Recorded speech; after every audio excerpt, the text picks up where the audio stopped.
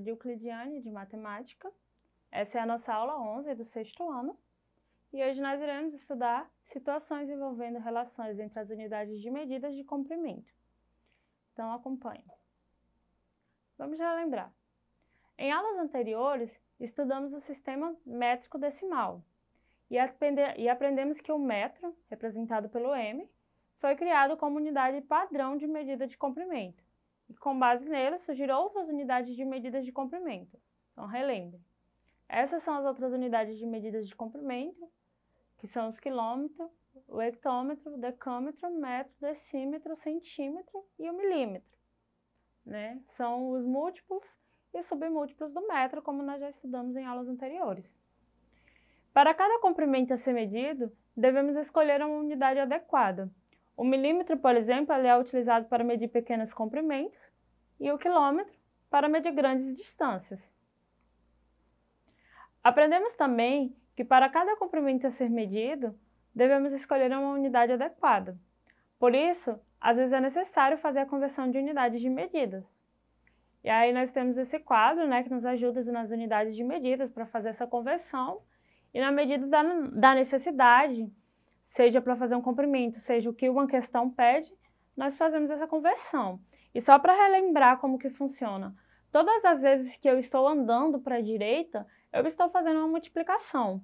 E todas as vezes que eu estou andando para a esquerda, eu estou fazendo uma divisão. E é sempre por, por múltiplos de 10. Por exemplo, se eu ando uma casinha para a direita, eu vou fazer uma multiplicação por 10. Porém, se eu ando duas casinhas para a direita, eu vou fazer uma multiplicação por 100 três casinhas para a direita, uma multiplicação por mil. Por outro lado, se eu estiver andando para a esquerda, acontece da mesma maneira, só que agora com divisão. Por exemplo, se eu ando uma casinha para a esquerda, eu estou fazendo uma divisão por 10. Se eu ando duas casinhas para a esquerda, eu estou fazendo uma divisão por 100. Se eu ando três casinhas para a esquerda, eu estou fazendo uma divisão por mil e assim sucessivamente.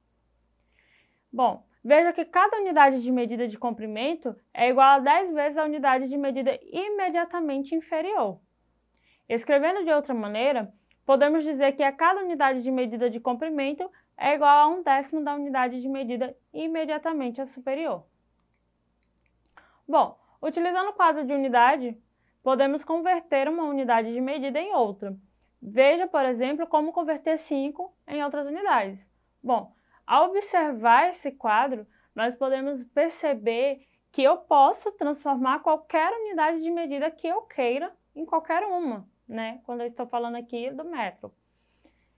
Por exemplo, quando eu quero transformar é, 5 metros em decímetro, eu estou andando uma casinha para a direita. Então, o que, que eu fiz? Eu peguei os 5 e multipliquei por 10 e agora eu tenho 50.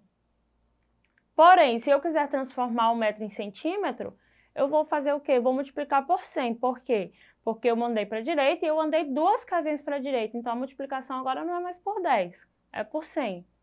E se eu quiser transformar esse meu metro em milímetro, eu vou andar três casinhas para a direita. Então, eu estou fazendo uma multiplicação por mil. Então, aquilo que era 5 metros virou 5 mil milímetros. É... Por outro lado, se eu quiser transformar esse meu metro nas unidades de medidas que estão à esquerda, eu vou fazendo uma multiplicação, por exemplo. É 5 vezes 0,1 para a esquerda, que equivale também eu pegar esse meu 5 e dividir por 10. Ou, se eu mandar duas casinhas para a esquerda, 5 vezes 0,01, que equivale eu pegar esse meu 5 e dividir por 100. Ou 5 vezes 0,001, né? Porque eu andei três casinhas para é, a esquerda. É a mesma coisa de eu pegar o meu 5 e dividir por mil. Então, professora, qual que eu devo usar? Eu devo dividir por 10, por 100, por mil? Ou eu devo fazer uma multiplicação por 0,1, 0,01, 0,001? Bom, você vai fazer aquele que você mais se identifica. Se você acha que é melhor, é mais fácil, você consegue fazer por uma multiplicação de decimal, então você pode ficar à vontade, né? Mas se você acha, ah, não, eu, eu prefiro a divisão, eu acho mais fácil. Então você vai fazer a divisão. O importante é que você saiba como fazer. Bom, então vamos praticar, né, para relembrar. Por exemplo, eu quero transformar o número 3 inteiros, 728 é, milésimos de metros em centímetros. Bom, ó, eu tenho um número que ele está em metro e eu quero transformar esse número para centímetros. Bom, como o centímetro, representado pelo cm, está duas posições à direita do metro, então nós devemos multiplicar por 100, né? Porque 10 vezes 10 é igual a 100. A medida de comprimento dada. Então eu tenho aí o meu metro e quero andar lá para o centímetro. O que, que eu percebo? Estou andando duas casinhas para a direita e eu já tenho que lembrar, andei para a direita, então eu estou fazendo uma multiplicação.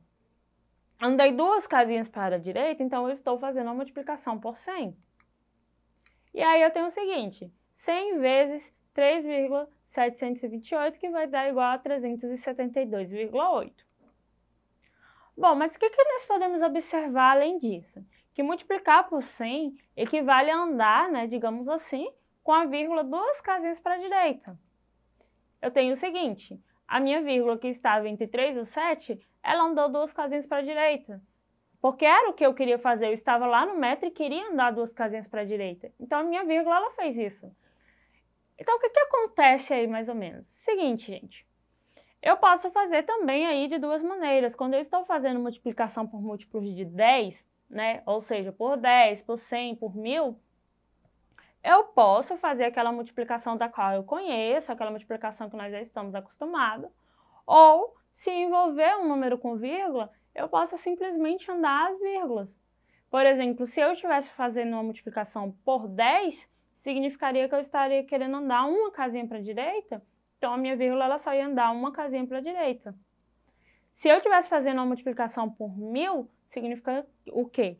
Que eu quero andar três casinhas para a direita. Então a minha vírgula ela iria fazer isso. Ela iria andar três casinhas para a direita. Mas nesse caso aqui, foi por 100, então a minha vírgula só andou duas casinhas. Eu quero transformar 423 metros em quilômetros. Como o quilômetro, né, representado pelo km, está a três posições à esquerda do metro, nós devemos dividir por mil a medida de comprimento dada. Então está aí, eu estava lá em metro e quero andar lá para quilômetro. E aí eu já sei que eu estou andando para a esquerda. Bom, quantas casinhas para a esquerda? Três. Então já significa que é mil. Se eu estou andando para a esquerda, é uma divisão. Então eu tenho o seguinte, 423 dividido para mil, que vai ser igual a 0,423. Só que aí eu lembro que dividir por mil equivale a andar com a vírgula três casas para a esquerda. Por exemplo, gente, é uma coisa que eu preciso pensar, que todo número inteiro, todo número natural, ele tem uma vírgula no final dele. Então é como se a vírgula ela tivesse ali, né, é, após o 3. Ela está ali no final do 3. Se eu quero andar para a esquerda, então a minha vírgula vai fazer isso ela vai andar para a esquerda e ela andou três casinhas para a esquerda. Observem que a vírgula andando três casinhas para a esquerda, ela ficaria ali na frente do meu 4, certo? Mas essa vírgula ela não pode ficar sozinha, aleatória, solta. Então o que eu vou fazer é adicionar um zero na frente dela, para que ela não fique ali solta. Então andei três casinhas para a esquerda e foi necessário adicionar um zero. E aí eu vou lembrar agora. Na divisão, também acontece da mesma maneira. Se eu quiser, eu posso fazer minha divisão do jeito que eu conheço.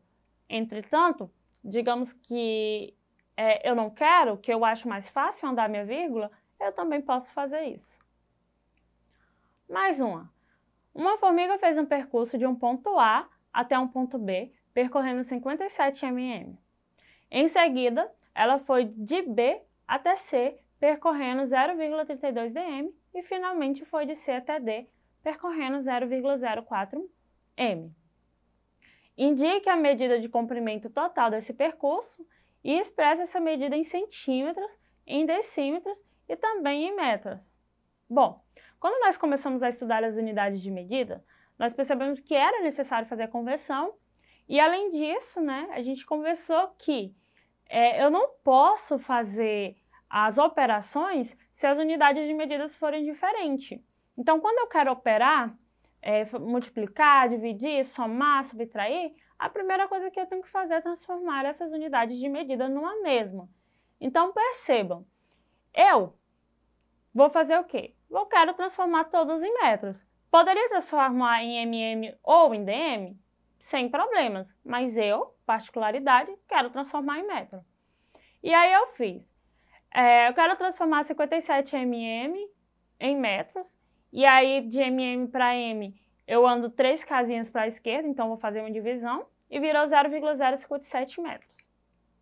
Quero transformar 32 em m, uh, 32 dm, 0,32 dm em m, e eu vou andar uma casinha apenas para a esquerda, então eu faço uma divisão por 10. E 0,04 metros não precisa transformar, né? Agora, para saber a distância percorrida, a gente vai somar todo o percurso. Então, eu tenho aí, já montei, uh, e eu tenho ali 7 mais 0 mais 0 vai dar 7. 5 com mais 0 com mais 4 vai dar 9. 0 com 2 com mais 0 dá 2. E 0 com mais 3 com mais 0 dá 3. 3,297 metros. Bom, portanto, a, a formiga percorreu 3 inteiros, 297 milésimos de metro. Agora, nós vamos transformar é, para as outras unidades de medidas envolvidas nessa questão, que foram o MM e o DM, que a questão pede, né? A questão exige que isso aconteça. Então, a gente sempre faz o inverso, né? Para eu transformar em MM em M, eu tive que dividir por mil. Então, para eu transformar M em MM, eu vou multiplicar por mil.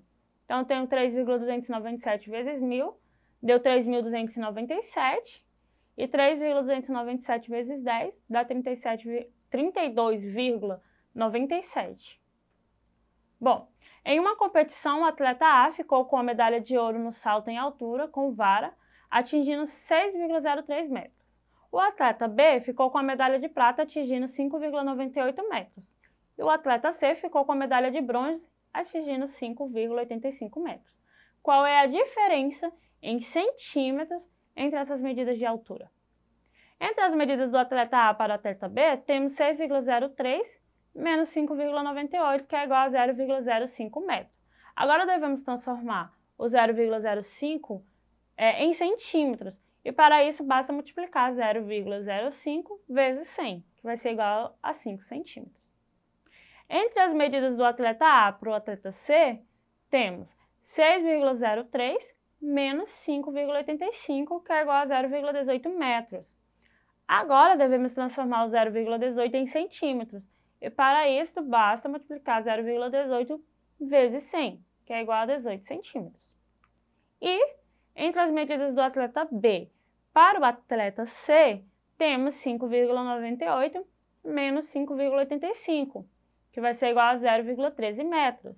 Agora devemos transformar o 0,13 em centímetros, e para isso basta multiplicar 0,13 por 100, que é igual a 13. Fazendo a conversão de 12 km para metro, quanto obtemos? 12 vezes 1.000, que é igual a 12 mil metros. Determine quanto vale em mm 2dm. 2 vezes 100 é igual a 200 mm. E quanto vale em hectômetros, hm? 300 decímetros, dm. 300 dividido para 1.000 é igual a 0,3, né? Então aí eu só contei a quantidade de casas, se era para a direita ou para a esquerda.